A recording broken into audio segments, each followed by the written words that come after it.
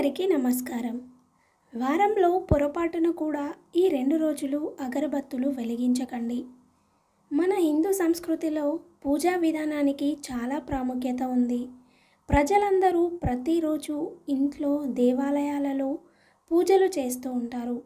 ప్రతిరోజు ఉదయం లేవగానే వెంటనే శుభ్రం చేసి పూజా కార్యక్రమాలు ముగిసిన తర్వాతనే మిగిలిన పనులు మొదలు పెడతారు ఇలా ప్రతిరోజు దేవుడిని పూజిస్తూ ఆరాధించడం వల్ల జీవితాంతం సుఖంగా సంతోషంగా జీవించే అనుగ్రహం లభిస్తుందని ప్రజల నమ్మకం.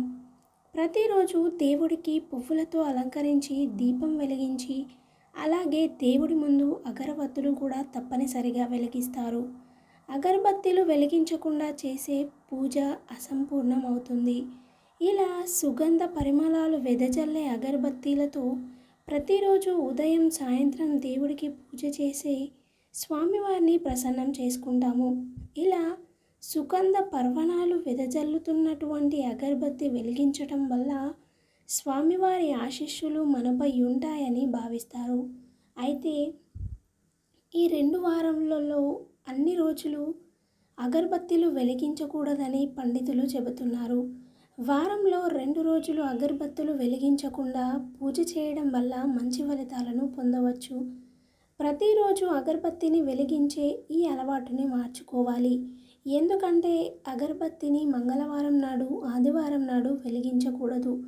వాస్తుశాస్త్రం ప్రకారం మంగళవారం ఆదివారం ఇంట్లో పూజ చేసినప్పుడు అగరబత్తీలు వెలిగించకూడదని పండితులు చెబుతున్నారు. ఎందుకంటే ఈ రెండు రోజులలో అగరబత్తిని వెలిగించడం వల్ల కుటుంబ సభ్యుల మానసిక ఆరోగ్యం దెబ్బతింటుంది.